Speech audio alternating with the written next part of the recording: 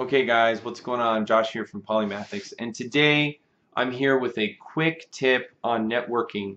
Um, we're going to do a whole series on networking uh, later on but right now just a common pitfall that um, I see um, with lots of people is they uh, they a, a common misnomer about networking is that you have to have a great amount of people and somehow numbers is going to count for something. Numbers is going to you know create some critical mass where everybody's going to get you a job. That's not the case. If you have a network of 100 people and none of them know you or care about you or or have any vested interest in you, then that's not going to help you at all. But if you have a network of five or ten people who you interact with on a daily or weekly basis, who you're involved with their lives, you've helped them accomplish major goals in in in their careers or their personal lives, um, yeah, those 10 people are way stronger than your 100 person network who don't know you at all. So when it comes to a network, um, I'm not saying that numbers don't count for anything. They definitely do. But um, in in it, it's it's like comparing apples to oranges. It's a different kind of situation.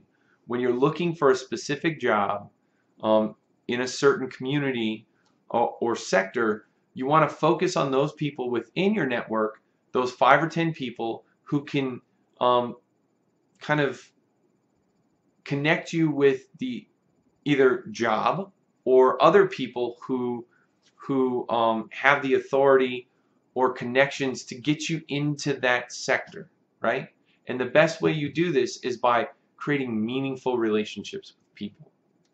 And um, because here's the thing, if you have a hundred people who are all, you know, photographers but you're looking to get into the movie business, there's there's a there's a good chance that like you know only a few of them know people in Hollywood.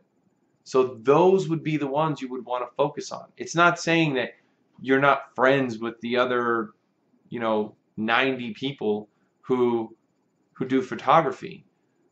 It's that you're strategically focusing on that those people who will be the most effective for your career transition. And with that being said, you you have as I, I keep harking on this, you have to um, cultivate a real relationship with them. Serve them, help them, and through that you will make connections and meet the appropriate people um, that will lead you on your way to your dream job, the job that you want, the job that you deserve. So I hope this has been helpful and I'll catch you in other videos. Take it easy.